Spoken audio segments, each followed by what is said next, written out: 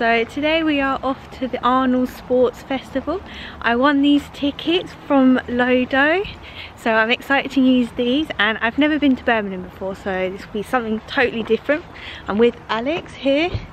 He's my partner in crime in these little missions we go on. So Birmingham. Birmingham. Off to Birmingham. Birmingham. Sorry, I just butchered the accent there. Apologies if you're actually from Birmingham.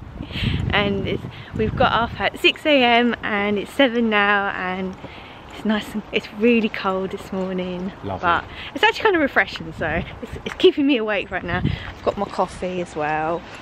So we're all set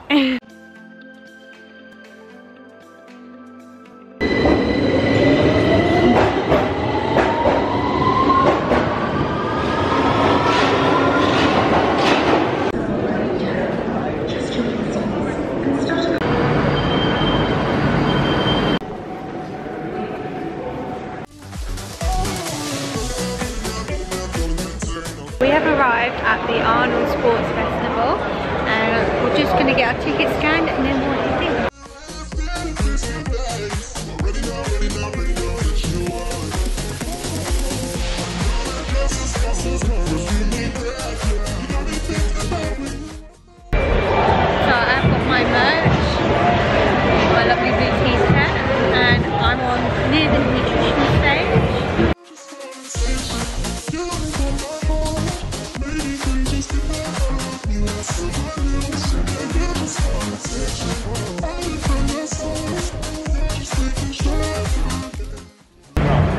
Yeah, Halloween jammy dodger.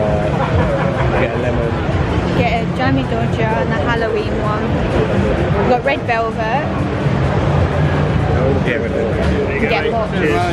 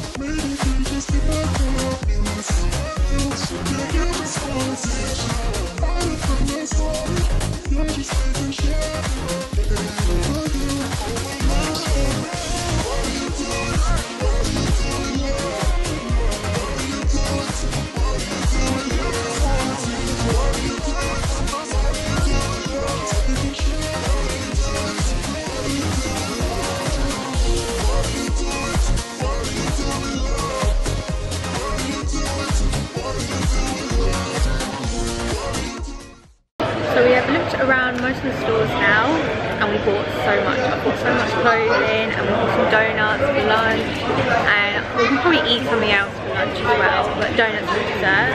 And hopefully we're going to watch some activities now like CrossFit, um, you know, it's like strongman competitions and maybe a talk. And I'm. Everybody's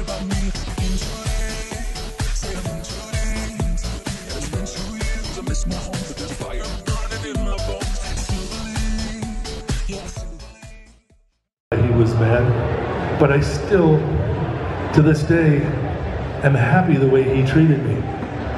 Because he told me every day of my life that I was with him until 10, that I was horseshit, that I was nothing, that I was never going to be anything more than what came out of the back of a horse. Many times as I speak all around the country in America and around the world, you know, I've been to 10 schools in one day. I went to 15 schools in 30 hours. And in another town, I went to 18 schools. And those words that he encouraged me with were real simple and to the point. After I set that weight down, I waited. I thought maybe a pat on the back. I thought maybe he might encourage me, inspire me. He did that on the football or on the baseball diamond.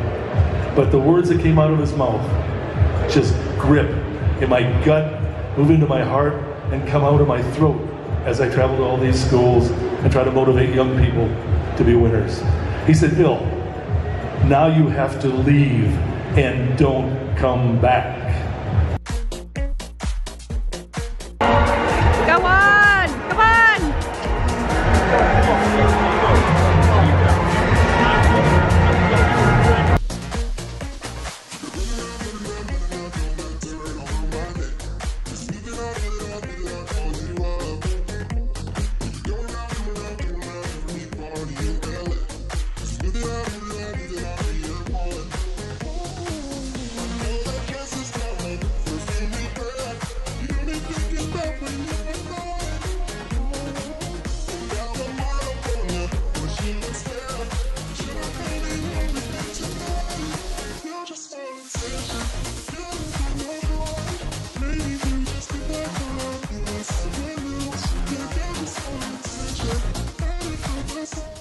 That was all the footage I took from the Arnold Sports Festival.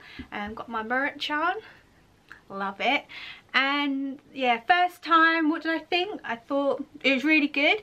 Very packed. If so if you're someone that likes personal space or gets like a bit anxiety is a bit like people in my area. But it's a memory that you're gonna have forever. Like so it's the first time and I don't think I'll ever forget it.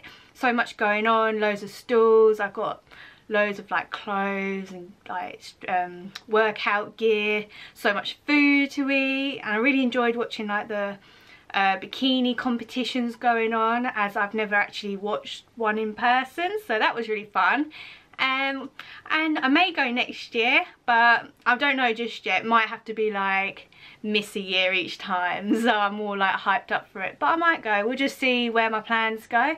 Did you go to this year's one? Let me know in the comments and are you going next year? Be interested to know. You may have even seen me. Who knows?